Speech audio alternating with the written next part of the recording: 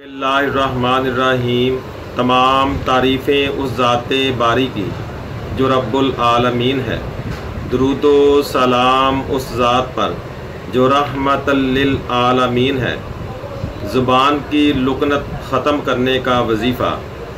आज का वजीफ़ा उन बहन भाइयों और बच्चों के लिए है, जिनकी ज़ुबान में लुकनत है और वो लफ्ज़ सही तरह अदा नहीं कर सकते।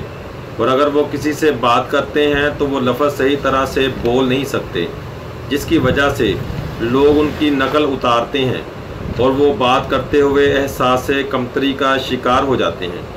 इस बारे में एक वजीफ़ा बताना चाहता हूँ, जिसको पूरे यकीन और भरोसे के साथ करें। तो इन आप चंद दिनों के अंदर अपने आप में काफ़ी फ़र्क महसूस करेंगे और सही तरह बात कर सकेंगे। वजीफ़ा कुछ यूँ है।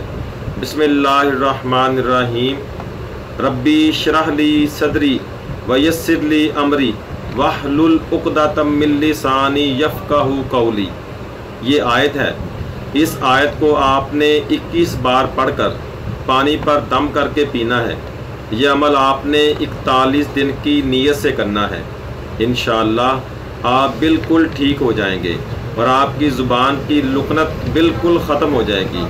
नमाज़ की पाबंदी करें और ये अमल अपने दोस्तों और अजीज़ों के साथ शेयर करें, ताकि वो भी इससे मुस्तफ़ हो सकें।